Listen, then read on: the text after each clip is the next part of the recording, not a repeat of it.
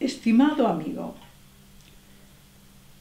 es admirable tener la certeza, la seguridad, la maravillosa dicha de poder unirte a Dios, cuerpo con cuerpo, alma con alma, mente con mente. Los santos se hacen así. Dios los hace por la voluntad y obediencia de ir a comulgar sin pecado mortal. Alegría. Puede parecer pedante si te digo que quiero que Dios me haga santa, porque cuando oigo a algunos que se conforman diciendo, ya sé que iré al purgatorio, eso para mí me da tristeza, dolor. Es que se acepte el purgatorio y no se pida y luche para ir al cielo. Creo que hay que luchar para conseguir el primer premio. Y Dios dice que podemos, con Él podemos. Y los santos han podido. Y es tan duro pensar que después de la muerte aún tenga que esperar para estar en los brazos de mi papá, de mi papá Dios. Además, yo sé que es Cristo quien me da la salvación. ¿Quién nos da la salvación?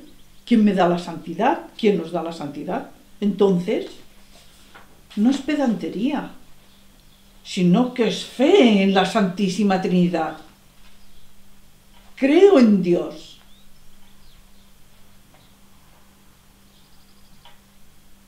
Te animo, amigo, a que tengas ganas de ir al cielo enseguida. Y te comento que es bueno no pecar, que es bueno obedecer a Dios y cumplir los diez mandamientos de su ley. Hay algunas personas que comentan que lo bueno es vivir el hoy,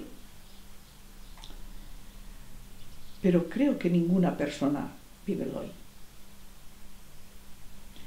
Todos tienen alguna ilusión en algo futuro, terrenal,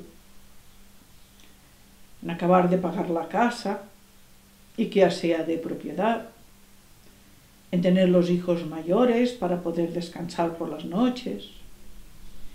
Y tantas cosas, como conseguir un buen empleo en el futuro, que un plan nuestro se haga realidad. No, no creo que la gente viva solamente el hoy. Pienso que no es cierto. Tantos esperan enamorarse en ese futuro. Otros, como yo, desean la santidad. Y vamos de confesión en confesión, de Eucaristía en Eucaristía, a luchar contra nuestros pecados y ser cada vez mejores por la gracia de Dios.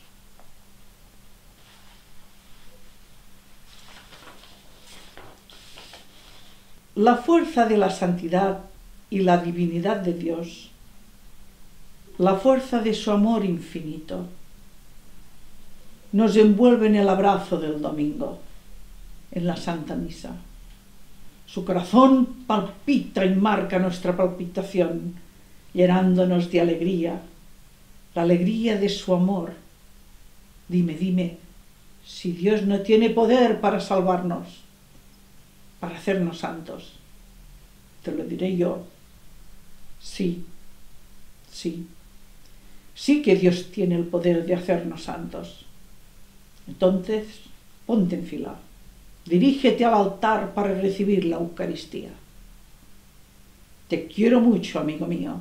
Siempre adelante con la fe.